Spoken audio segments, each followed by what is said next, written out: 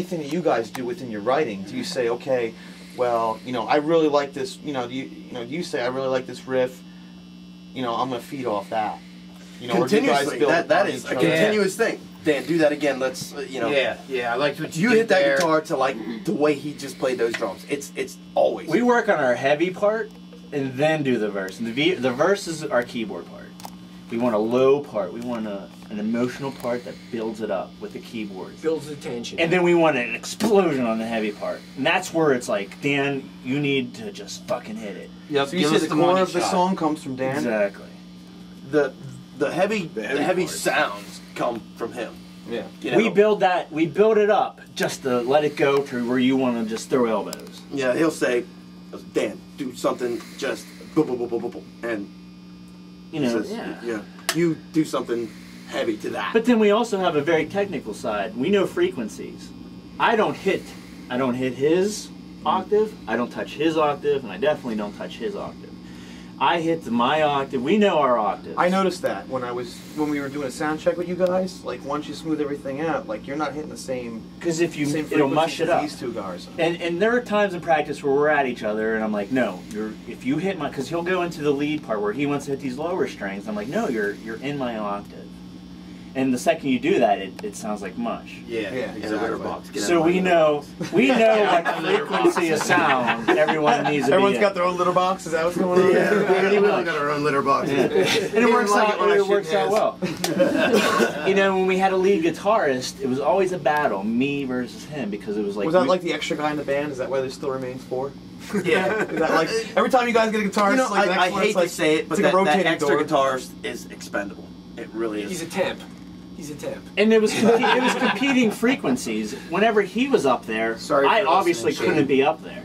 So Is it so? Is it all about dynamics, really? it, it's about emotion and it's about dynamics after that.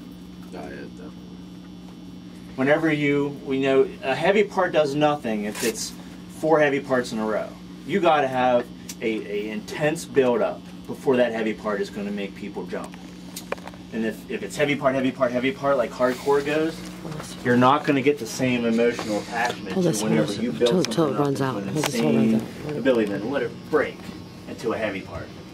And that's what that will give you power, and that is what you guys do too. Yeah, of course. I mean, me and Donnie have had many drunken discussions sitting around going, you know what new metal is? Emphasis on the drunken. Yeah. Well, that's whenever we're all free It's all and about talking dynamics. But I mean, it's- it's, it's when we're done simple, it's just playing- us. nice. Ten minutes ago, me and You you just like- had the conversation We write the about you know, we write a lot of the bass parts. we write a lot your verse. Your verse needs to set you up for the heavy part. Yeah. And if you don't set yourself up for the heavy part, it's not going to be as powerful. So that's that's kind of where we're Yeah. at. As, as a guitarist, I could concur with that because if, if you're if you're just blaring straight up every single riff, then Yeah, the effect what, isn't as. yeah, if Yeah. it's like you you went to ten and that's it. I mean, because we've tried to write like really heavy songs and people just don't pay attention. They walk away because they get bored. Because if it's Yep. if it's And five minutes of heavy, want. five minutes of heavy doesn't do you anything. It's a contrast. It's the same thing in life. The good, you know, the good times don't mean shit if you don't have some bad times. So that- that's how I feel it is. You know. I want to shift gears at you guys a little bit here. Um, another thing I want to ask you guys is that uh, the Digital Meltdown tour, you guys got that going on right now. Um, do you have anything coming up in the future with that?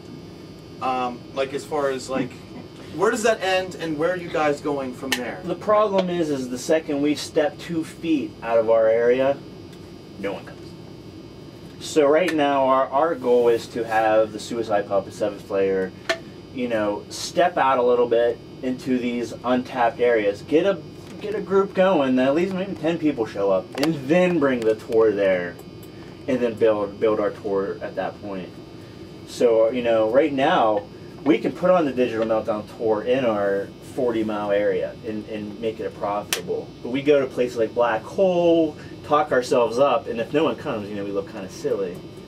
With you guys just signed to Romulus X Records, I mean, are there any things in the wake? That, I mean, maybe there's things you can't speak of at the time. but- You know as much as we do. I know. I know. I'm trying to act signed more to that like- label, I'm trying to, you know, I know. I'm trying to, you know. Online sales. You know what's under the carpet over here. Okay, you know what's under the carpet. I don't want to reveal anything, you know. I mean, We got online sales on the horizon. I mean, I'm not gonna lie. We are talking Yeah. about expanding the Suicide Puppets. You know, getting them a better following in New Jersey. Uh, you know, we are we are looking international, if I'm not Right, mistaken. yeah. You know, That's correct. um, you know, we're also looking to go into Canada. And you guys are always included into our. Well, of course, and you guys are always in our There's plans, there's too. no reason why you can't call up and the, uh, say, the "I went on the BFF show." Of Romulus X Yeah, Records. That is If correct. you Yeah, called man. me, if you called me and said, "Hey guys, I, I got you guys got the show," and I went on it, you would be on it. Yeah, because go I, I would if I had to. we, Oh, we would kick off any other yeah. piss, you know, like no, Well, yeah, we're, we're mean, gonna like- have the Vivid Twisted here. Like That's- Donnie always says, you're coughing in mine. You know I mean? You know, it's like, you know, where are we gonna get buried together? yeah, we we hold a lot of devotion to your band as well. I mean, we really enjoy you guys. I mean, immensely. Yeah, I mean, we're very. There's a couple solid times we had to leave.